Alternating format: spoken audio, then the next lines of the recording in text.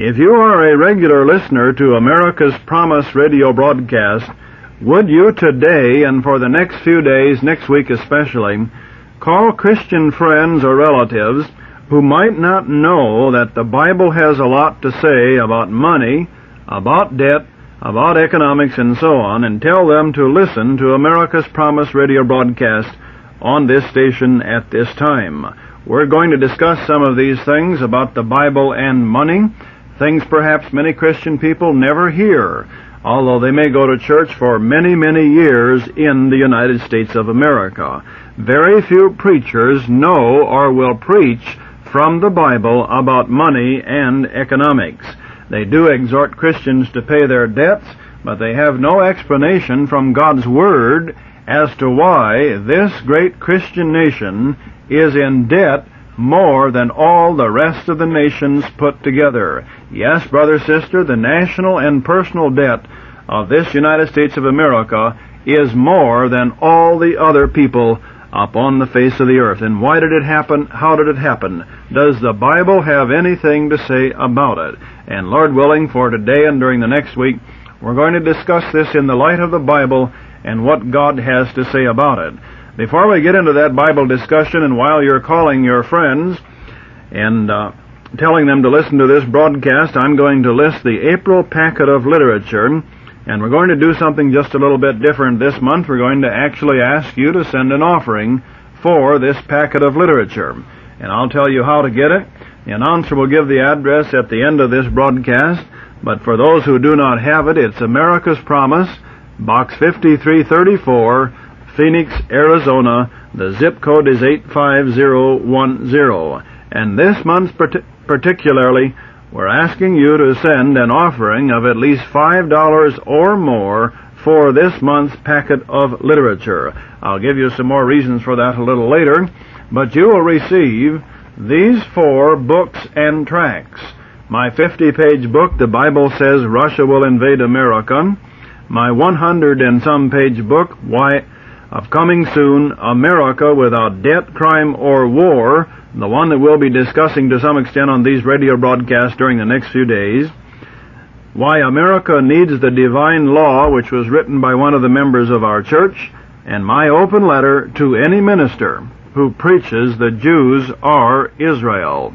And you cannot understand the monetary system in America unless you understand, of course, that we are the Israel people of the Bible, and I'll show you that as we go along. But first of all, since this is the month in which most people, at least the, when they, those who pay personal income tax, file their individual uh, federal income taxes, let us turn to the fifth chapter of Nehemiah and see if God in His mercy and His wisdom gave us a story of anybody who was ever taxed or is in debt as these Christian Americans in this end of the age. The fifth chapter of Nehemiah is part of the story of Ezra and Nehemiah coming back from the uh, captivity of Babylon to Jerusalem to rebuild the city and to reestablish the Judah kingdom under Ezra and Nehemiah. But they had trouble, they had problems, and much of it is given in just a handful of verses in Nehemiah 5. And brother, sister, you listen to their trouble and you see if it fits the problems in America today. Chapter 5 of Nehemiah. And there was a great cry of the people and of their wives against their brethren the Jews. For there were that said, We, our sons and our daughters are many, therefore we take up corn for them, that we may eat and live. And their complaint was that they had to go to work for the Jews in order that they might have enough money to eat and live. Some also that were that said, We have mortgaged our lands, vineyards, and houses, that we might buy corn because of the dearth. Now there's no indication that there was a drought in the Judah kingdom at that time or in old Canaan land. This dearth was a dearth of money, a lack of money. And brother, sister, in America today, our people are short of money, but they're not short of debt. They're in debt. And these men said, We've had to mortgage our lands, our vineyards, and our houses in order to buy things so we can continue to eat and live. They even said in verse 4, they also said, We have borrowed money for the king's tribute, and that upon our lands and vineyards. They actually had to go in debt in order to obtain the necessary money to pay the taxes that the king had levied upon them. Now, this was the king of Babylon, of course. If you'll recall, they were still nominally part of the Babylonian Empire, and they had come back to the old Judah kingdom to rebuild Jerusalem under the edict of Cyrus, the Persian who was in command at that time of Babylon. All right, in verse 5, Yet now our flesh is as the flesh of our brethren, our children as their children. In other words, we have lost control over our own children, and our children are literally as if they were the children of these people who oppress us, to whom we owe all this money and to whom and from whom we have had to borrow and give them mortgages on our lands and our vineyards. And lo, we bring into bondage our sons and our daughters to be servants, and some of our daughters are brought into bondage already, neither is it in our power to redeem them, for other men have our lands and vineyards. What a calamity upon this nation. These people had been forced by the economic system to go in debt to the extent that they realized they had actually sold the next generations, that's what the term they used, sons and daughters, they had actually sold the next generations into bondage. It's been some time since I have read in a newspaper by any of the so-called economic writers that this is literally true in America, but it is. We have gone so much in debt both through the national government, also, also through state governments, and individually, that our children, at the moment they are born, are already in debt and can see that tens of thousands of dollars of their earnings when they finally grow up and go to work will be taken to pay the interest and the debts that we have obtained upon ourselves. We are already borrowing far, far into the future. In fact, we have arrived at a point in America today where the borrowing into the future is such that it, no one even talks about paying off the debts anymore. All they talk is about paying interest on them so that we can keep from foreclosure. And if you would add up the total federal debt, the total debt through the states, the school districts, the highway department, the various uh, metropolitan organizations that float bond issues and the personal debt of the American people, we could not pay off our debt even if we gave the moneylenders title to the entire United States of America. The total debt now equals something over two trillions of dollars. Yes, over two trillions of dollars. How in the world did the United States of America, this great nation producing every year over 50% of the world's manufactured goods, a good share of the world's agricultural produce, and having the greatest technical society that has ever existed, and yet we can't seem to have enough money. Well, I suppose the people wondered at it at that time. And they said in these handful of verses in Nehemiah 5 that their position their condition was literally identical to what we find in America today. In verse 6, after they said this to Nehemiah, he said, I was very angry when I heard their cry in these words. Then I consulted with myself, and I rebuked the nobles and the rulers, and look who Nehemiah turned to to accuse of causing this situation. The nobles and the rulers in the nation. Who is at fault in America today? Is it the people who spend too much money? No, we don't buy and use even all the produce that we produce. In fact, billions of dollars of what the American manufacturer and the American working man and the American farmer produce are actually taken from us and sent to alien countries, much, much of it ending up in the hands of the enemies of America. So it's impossible to accuse the American people of using more or buying more than they should because they do not even buy their own produce. They give it away, it's taken from them, it's stolen, it is used for purposes against the best interests of the United States of America, And yet the economists and the writers in our newspapers often accuse our people, well, the reason you're in debt is you just want things that you can't afford. No, there's something deeper in this. There's something that is greater that the American people do not see, and we'll show you as we go along during the next few days. The main reason they don't see it is they have not been taught God's simple laws of economics from His holy word, and neither are they taught it today. Nehemiah, when it, this was brought to his attention, being a righteous, godly ruler, immediately turned to the source of the affliction, the nobles and the rulers, and said unto them, And here's the cause of it.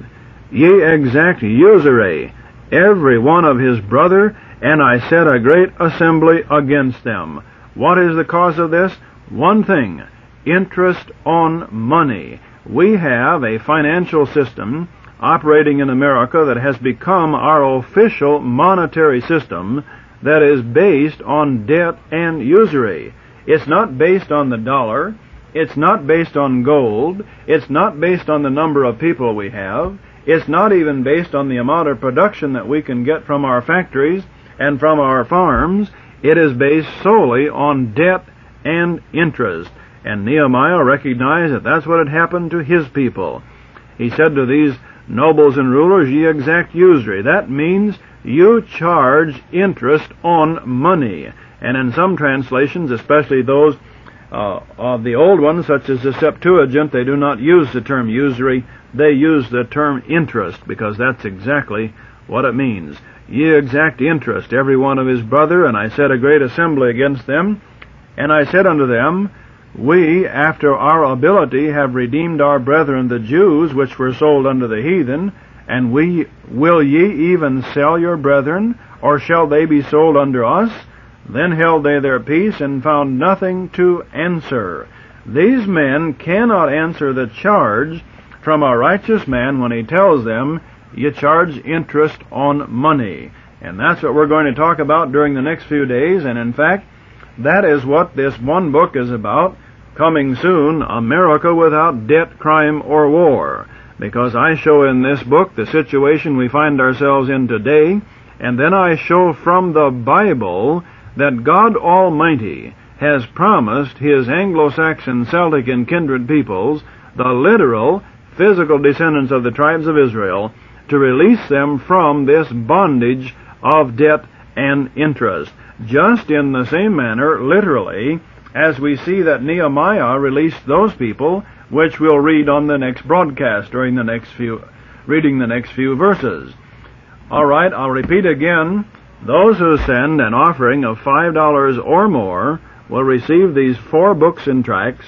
The Bible says Russia will invade America, Why America Needs the Divine Law, Coming Soon, America Without Debt, Crime, or War, and my open letter to any minister who teaches the Jews are Israel. And brother, sister, I could almost challenge any one of my listeners to read those four books and not realize that we are that.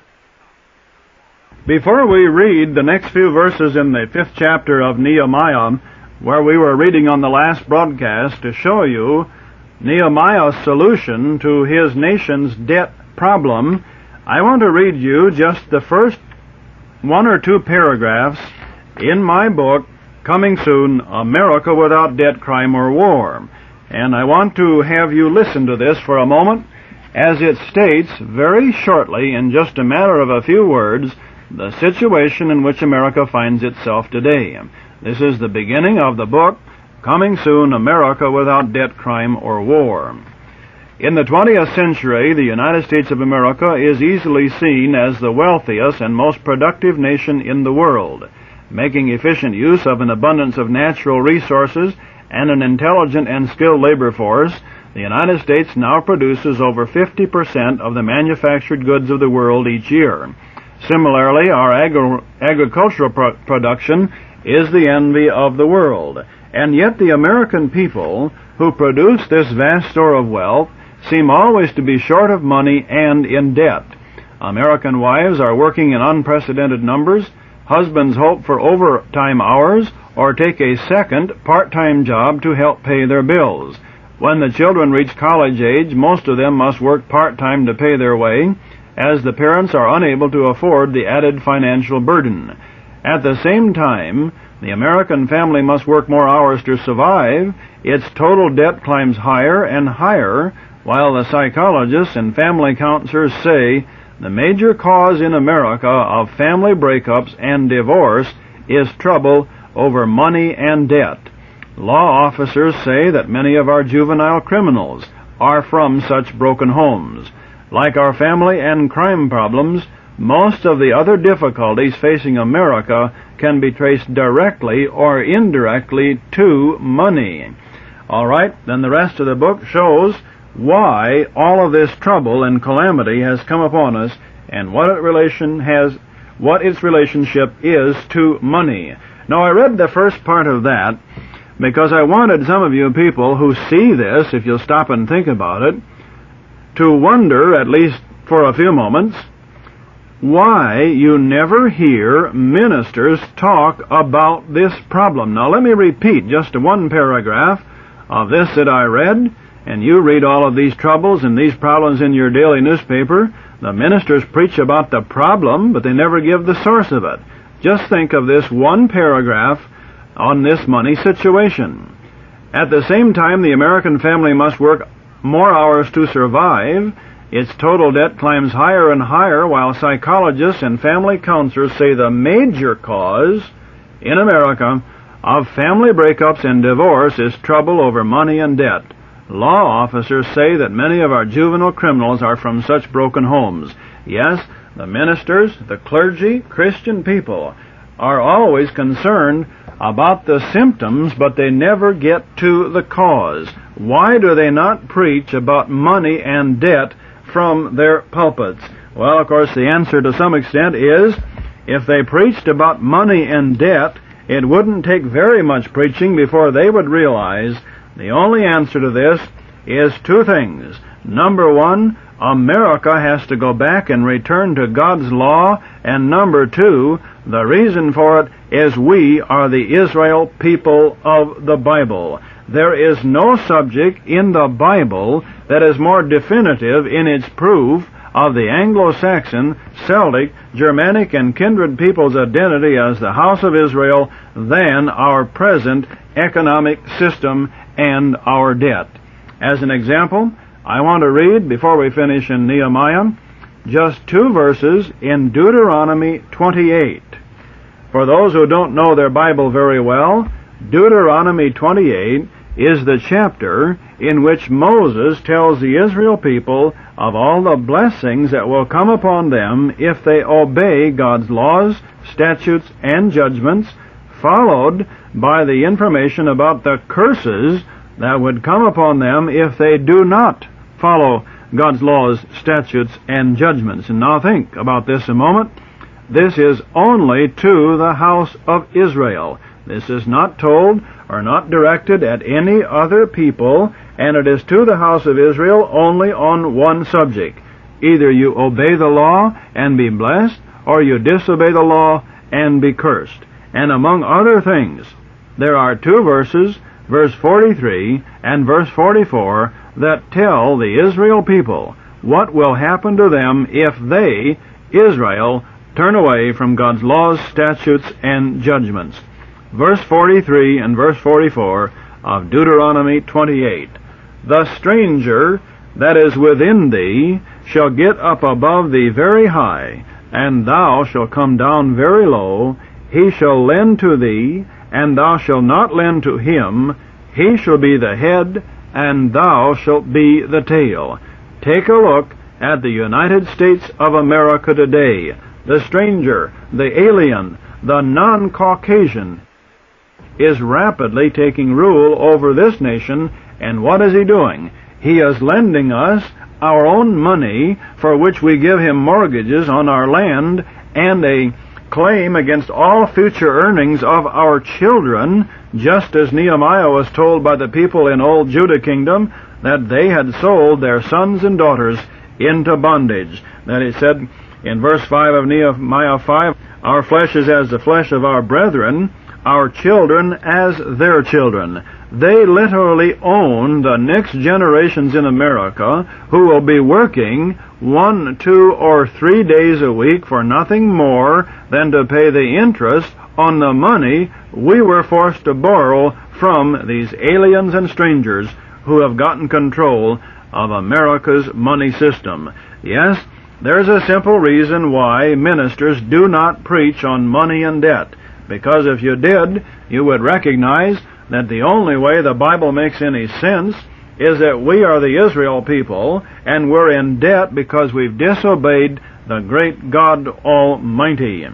All right, let's go back to Nehemiah 5 before we go any further in my book, Coming Soon America Without Debt, Crime, or War, and let's see what Nehemiah did after he went to the rulers and the elders and rebuked them and told them, You have charged interest on money. In verse 9 he says, Also I said, It is not good that, that ye do. Ought ye not to walk in the fear of our God because of the reproach of the heathen, our enemies? In other words, why don't you men realize that we should walk after God's laws, statutes, and judgments because of all these enemies that we've got around this nation? Remember, Nehemiah was literally in the same position as our early colonists when they first came over here, and we ended up fighting the greatest nation at that time in military terms, Great Britain, in order to get our own independence. And we had Indian savages and the other nations of the world who were not necessarily our friends, and Nehemiah said to them, We have enemies all around us, don't you know? You should walk in the fear of God. I likewise and my brethren and my servants might exact of them money and corn. I pray you, let us leave off this usury. He repeated it again, a double witness by Nehemiah here, that the only thing that had caused all of this trouble and this crying, this debt, this mortgaging, this forcing to borrow money even to pay the taxes to the king was caused by one thing usury, interest on money. And brother, sister, I could almost challenge you to find in the local area here where we have our church any other minister in the state of Arizona except Pastor Sheldon Emry who will tell you that charging interest on money is a crime against God Almighty. In fact, I get many Christian newspapers, and uh, we have local churches here doing the same thing. They're always urging people to give them money and they'll pay the people interest on the money. And here we see this good godly Nehemiah recognize the trouble, everything that had happened to that little Judah kingdom in its attempt to rebuild into a great nation had been caused, or their trouble had been caused, by one thing, charging interest on money. He told them, I pray you, let us leave off this usury. And then he went further. Restore. Restore. The great story of the Bible that God is going to do to His Israel people is contained in one word. Restoration. In the days of restoration. Now, restore means to place a people or something back in a condition that had been in in some previous date. And so Nehemiah said, all right, we're going to take care of this situation. We're going to get our people out of trouble. We're going to stop not only charging interest, but we are going to restore, give back, put the property back in the hands of the people. Verse 11, Restore, I pray you, to them, even this day, their lands, their vineyards, their olive yards, and their houses, also the hundredth part of the money, and of the corn, the wine, and the oil, that ye exact of them. And some day in America, as you might guess from the title of my book, Coming Soon, America Without Debt, Crime, or War, there is going to be a day of restoration when the American people who have lost their homes, their farms, their places of business, their literally their livelihood and their children are going to have it restored to them. But that restoration will come only when we turn to God and believe His Word and turn and obey Him. And by obeying God, I mean obeying His law. How in the world are you going to obey God if you won't obey the things He had stated in His Bible are His law? Now, laws are made either to be obeyed or to be broken. If you don't obey them, you break them. And you ministers and you Christians who cast aside the law of the Lord and refuse to obey it, well, you're breaking God's law. You're sinners. You're violators in the sight of God. And you, many of you, will be cast out of His kingdom when the kingdom is cleansed and the day of restoration comes upon us. In verse 12, then said they, We will restore them and re- will require nothing of them, so will we do as thou sayest. Then I called the priest and took an oath of them that they should do according to this promise. And I shook my lap and said, So God shake out every man from his house and from his labor, that performeth not this promise, even thus be he shaken out and emptied. And all the congregation said, Amen, and praised the Lord, and the people did according to this promise. Quite a story in 13 verses in Nehemiah 5, and it literally is a word picture story of the United States of America today. We have sold our children into bondage to the moneylenders, and it makes sense only if you understand we are God's Israel people, we have defied God, we have turned away from Him, we have broken His laws, statutes, and judgments, and now coming upon us as a people are the things listed in the 28th chapter of Deuteronomy under not the blessings, but the curses. All right, this is Pastor Sheldon Emry, and we'll continue this study on money and debt and interest tomorrow and for a few more days, Lord willing. Meanwhile, all of those who write and ask for the April packet of literature and send an offering of $5 or more, we're going to test you this month to see whether you're willing to part with a little of this money for some of the writings on God's Word. You'll receive the April packet, my book, The Bible Says Russia Will Invade America, which has 50 pages. Why America Needs the Divine Law by Brother Snook, which has 32 pages. My book, coming soon, America Without Debt, Crime, or War, a little over 100 pages. And my open letter to any minister who teaches the Jews are Israel. So you write, send of your tithes and offerings that we may continue to broadcast until tomorrow, goodbye. God bless you and Christian America. It is very possible that I have listeners who have attended Christian churches for many years who may feel that any pastor is getting far afield from the Christian gospel when he's talking about money in the light of God's Word. But according to the book of Proverbs, in chapter 18, verse 13, it says, He that answereth a matter before he heareth it it is folly and shame unto him. So I would beg that you listen and find the reasons why Pastor Emry is telling you that God's Word has a lot to say about money, about economics, about debt, and so on, and why we should, as God's people, claiming the name of Christ, claiming that we're Christians, should understand what is happening in this great Christian nation regarding money economics, and so on. So I'm going to read just a few pages again in my book, coming soon, America Without Debt, Crime, or War, to show you how very simple the situation is regarding our money and economics, and how easily it could be rectified if we would turn to the Word of the Lord. So first I'm going to read just two paragraphs in uh, one of the chapters in this book showing the necessity for money. Now, some of you people may think that this is wrong for a Christian to talk about money, but Christian civilization could not exist as we know it without money. It is one of the requirements of civilization. So let me read you just these two paragraphs to show you that, and then you perhaps you'll understand why we, as Christians, seeking the wisdom of God, should find God's Word and God's wisdom on this thing which we require in order to live. Just two paragraphs in this book. The subtitle is Adequate Money Supply Essential. Quote, Civilization as we know it could not exist without an adequate and even an abundant supply of money. Modern society could forego many other rather important things, but without an adequate supply of money, Our industries would slow down to a halt. Our farms would recede to become self-sustaining family units. Surplus food would disappear. Many jobs requiring the work of more than a few men would go undone, and the purchase and transportation of large volumes of goods would cease. Within a very short time, unemployment would lead to starvation, and mobs of hungry people would plunder and kill in order to remain alive.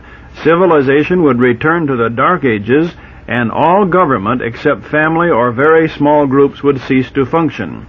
An overstatement? Not at all. Money is the means of all commercial trade except simple barter. It is the measure and the instrument by which one product is sold and another purchased.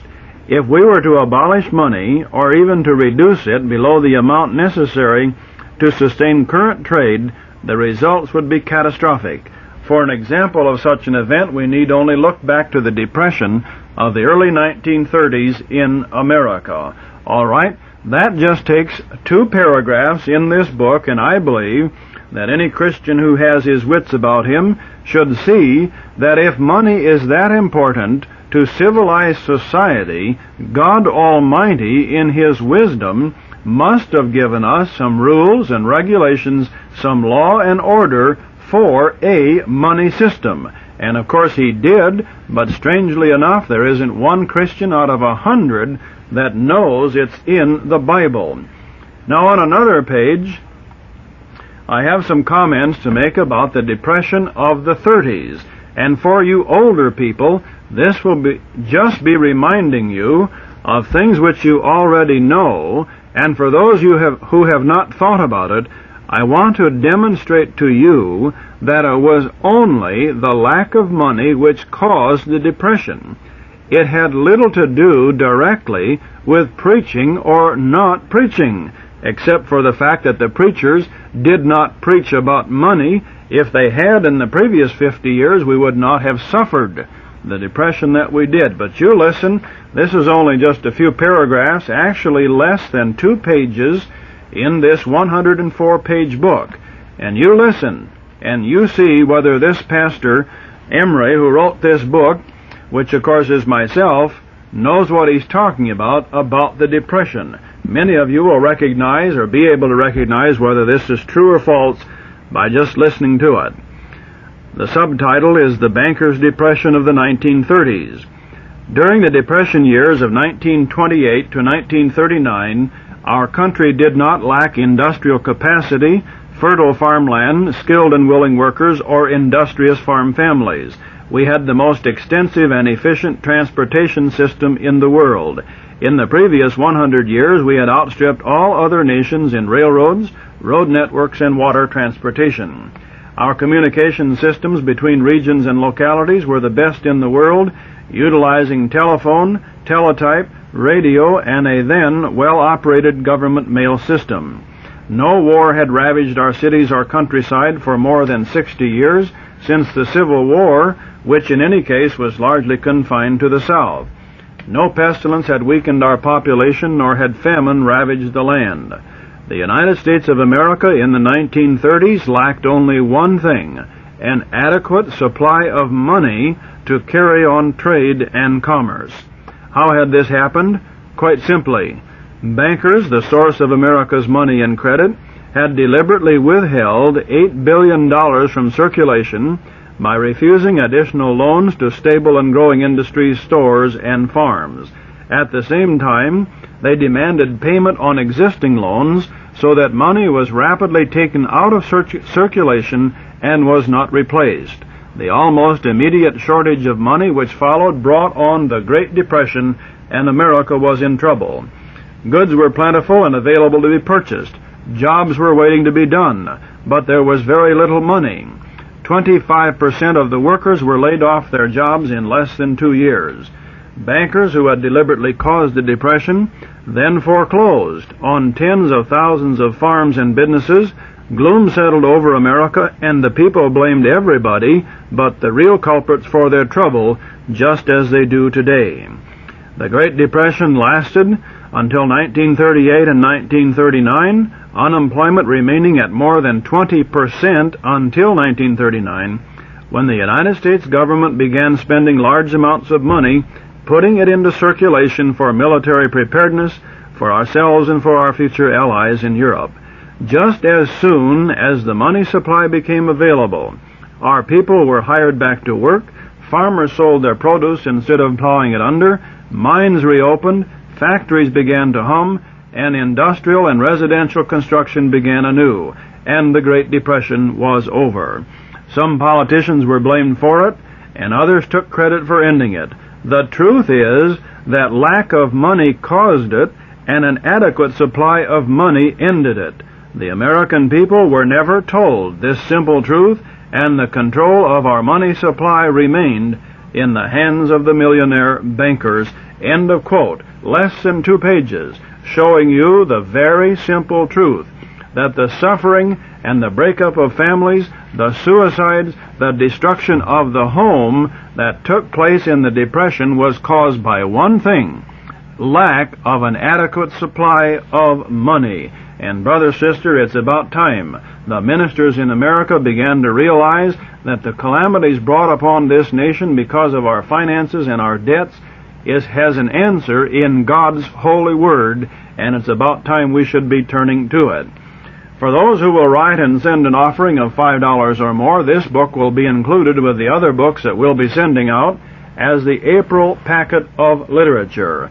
Perhaps some of you people, as you pay the tremendous taxes that you pay on your income, and uh, then and those that are withheld from you during the week when you work, will begin to realize that one of the main reasons for this is because of the debt that our nation has, our states have, our local governing bodies, all the way from the county, the city, and the school board, right down to the individual who has allowed his politicians to borrow into circulation practically every dollar that is available to the American citizen. The bankers receive from us tribute, usury, on practically every dollar that goes into circulation in America. And today, you people work almost one day out of five to pay nothing more than the interest on the money that has been borrowed on bonds all the way from your local school district right up to the United States government. What have you become? You have become slaves of the money changers. The same people, the same system that Jesus Christ drove out of the temple back in Old Jerusalem. And of course the book goes into that too and shows you what those people were doing, and why Jesus Christ, the only time in his physical life upon the earth, used violence against other people, that violence was against the money changers. And today, the ministers who claim the name of Christ are almost 100% silent on who the money changers are and what they are doing to America. We'll have a Bible study here in just a day or so, and we're going to go right through the laws, statutes, and judgments on the Bible or in the Bible on God's Word on what He has to say about money. I will say this, I will not be able to cover all of these details on the radio broadcast, of course, unless I were to sit here day after day after day telling you what the situation is. You are going to have to be willing to study God's Word as a Bible study in the privacy of your own home using books such as those written by myself and other men as your guide. In other words, this book tells you what the current situation is. It tells you how we got in this situation, what our forefathers wrote about this, and what the Bible says is both the cause and the solution of the financial dilemma which is destroying the United States of America. And brother, sister, I would have you understand that money rules the government of the United States of America today. Yes, the people who control the money system in America control your government, both internal and foreign policy. If you do not understand the money system, you cannot understand what is happening to these people in America, these Israel people who have come under the judgment of God, and we are now fulfilling verses 43 and verses 44 of Deuteronomy 28 and also many other verses that are related to it. Lord willing, tomorrow we'll continue this. You write, send $5 or more, and we'll send you this book, coming soon, America Without Debt, Crime, or War. Also, my book, The Bible says Russia will invade America, and this is directly connected with this, both through the present current events as we see Russia building this great armada for this invasion, and it's also prophesied in the Word of God. Also, my uh, 32 page booklet, an open letter to any minister who teaches the Jews are Israel. As long as you think the people who call themselves Jews are the Israel people of the Bible, you will not understand why America is suffering the calamities that were prophesied for Israel when Israel turned away from God's law. You cannot understand even the money system unless you understand who we are. We are Israel, God's chosen people.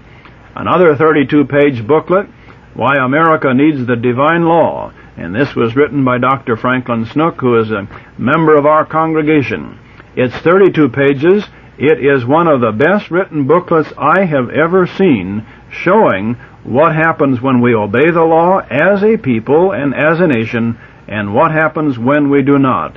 Page after page, showing the uh, problems America faces, and then giving the scripture verses where God has given the solution for those problems in his law, statutes, and judgments. This is Pastor Emry. You listen in again tomorrow. Until then, goodbye. God bless you and Christian America.